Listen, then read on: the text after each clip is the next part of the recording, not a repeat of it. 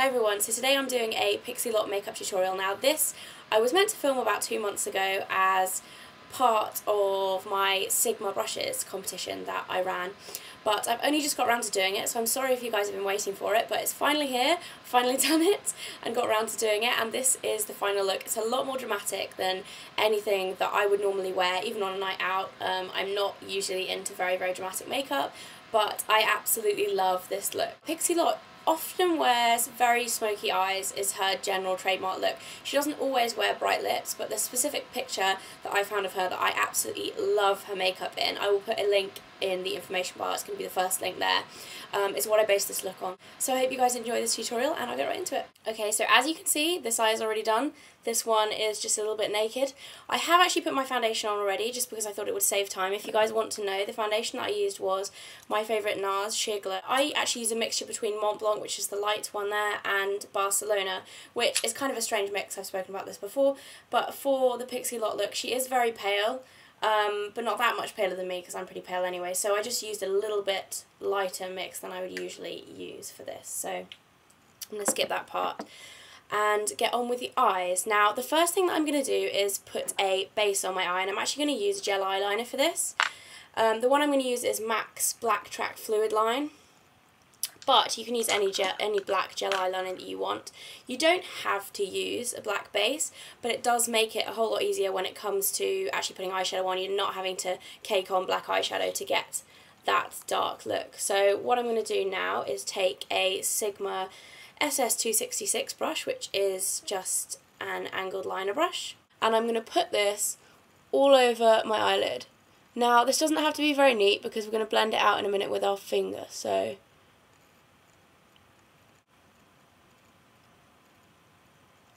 That will do. Just put it all over the lid and then I'm going to take a little bit more and just run that under the bottom lash line. Again, you don't have to be neat because we're going to blend this out in a minute.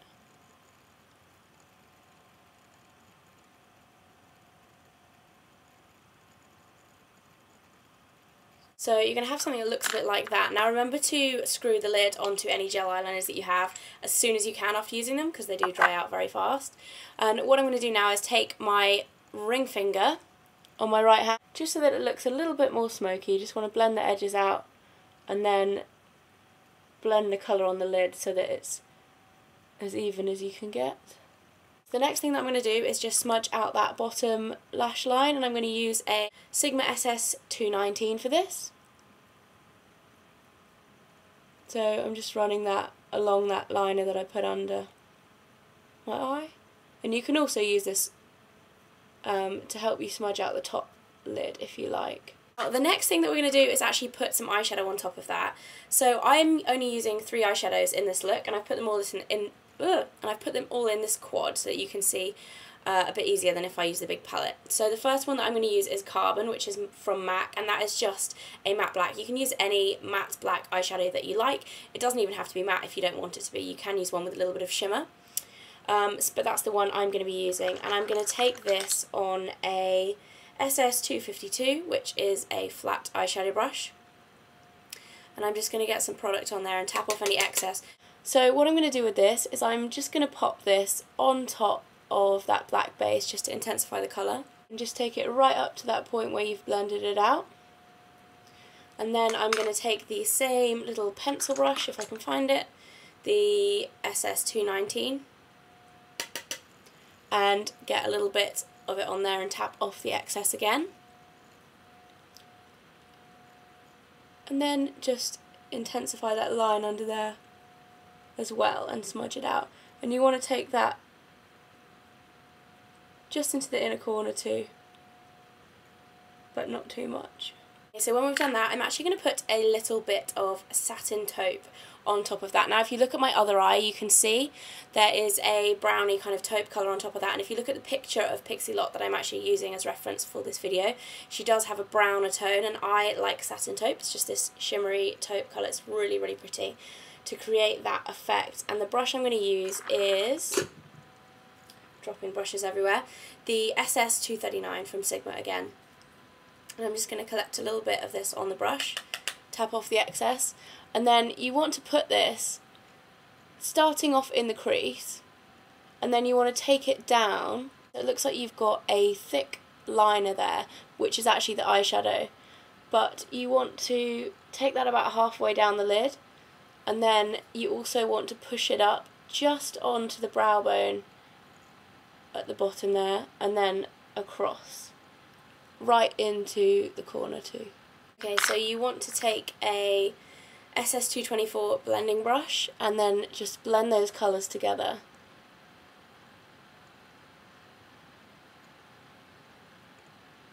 And blend out any lines that you've created with that eyeshadow.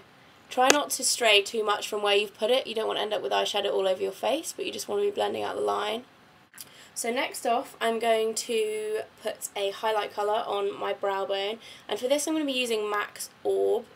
Um, this looks white because my lighting is pretty bad, but it's actually not white. It's a very, very pale flesh tone pink. And this works for me personally as a natural highlight colour, but if you have, you can use any matte highlight colour that you like that works for your skin tone. So I'm just going to apply this using a SS275 just onto the brow bone there and then you want to make sure that it's blended nicely into that satin taupe colour below it because you don't want to end up with a white stripe on your eyebrow which some people do and it looks bad.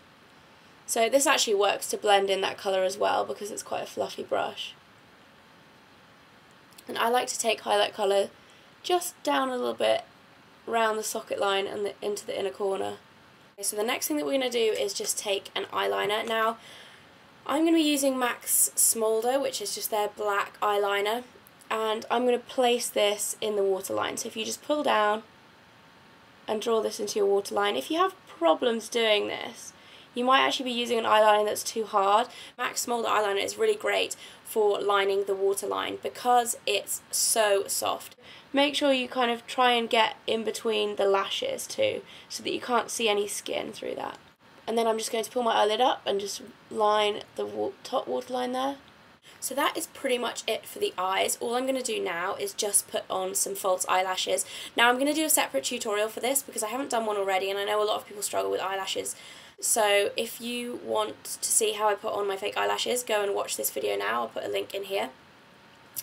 And I will be back in a second. Okay, so now I've got my eyelashes on, I've also popped a little bit of mascara on. I did that before I put my eyelashes on just so that I can reuse them. So now I'm actually going to pop a little bit of mascara on the bottom lashes really quickly.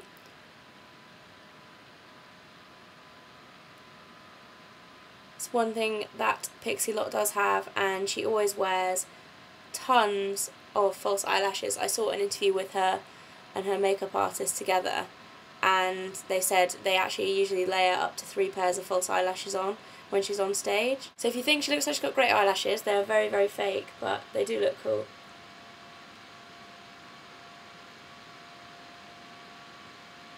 I am going to do a little bit of a contour on my cheeks. Now for that I'm going to use Sleek's Face Contour Kit in Light. I'm going to use a Sigma 168 contour brush and I'm just going to take the matte brown powder tap off any excess and just run this a little bit under my cheekbones in the hollow of my cheek there and just blend that in.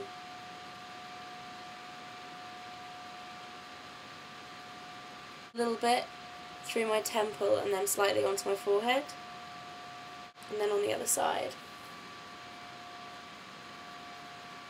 Make sure you take this right up to your ear, even onto your ear a little bit so that it blends in and doesn't look like you've just drawn a line there. And then using the same brush I'm just going to use a tiny bit of blush. She really doesn't have much colour on her cheeks at all but I'm just going to use a tiny bit of Benefit's Sugar Bomb blush and just put that on the apples of my cheeks and then up through my cheekbones. In this look she does have very bright pink lips so I'm going to use my well, one of my favourite lipsticks, and that is, I don't use very often because it's really, really bright, and that is MAC's Show Orchid, which is this super bright um, pink with blue undertones. And I've already put some lip balm on my lips before I started this tutorial, so make sure you do that first because you don't want it sticking to any dry patches in your lips. And I'm just going to put this on straight from the tube. You can use lip liner if you like. Personally, I really don't like lip liner. I like to just put it on straight out of the tube. Um, you also have to be careful because it's a very bright colour.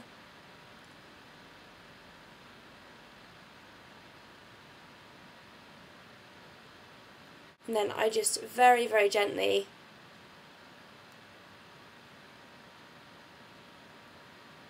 just blend the edges of this with my finger. I know you should use a lip liner for this, but this is what works for me, so that's what I'm going to do.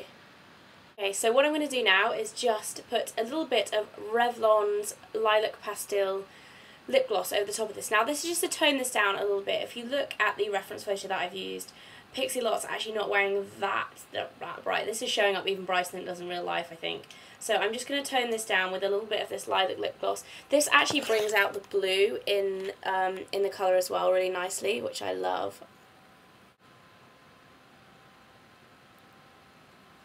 Okay, so that is the look finished. I'm going to take my hair down now because it looks like an absolute mess, just up how it is. So that is it for my Pixie Lott makeup tutorial. I will try and include some photos if I can, just so that the lighting is a little bit better. But I hope you guys enjoyed it. I know I haven't done a tutorial in a very, very long time, so it's been really fun doing one again. Let me know if you have any questions or anything, and I'll see you again soon. Bye.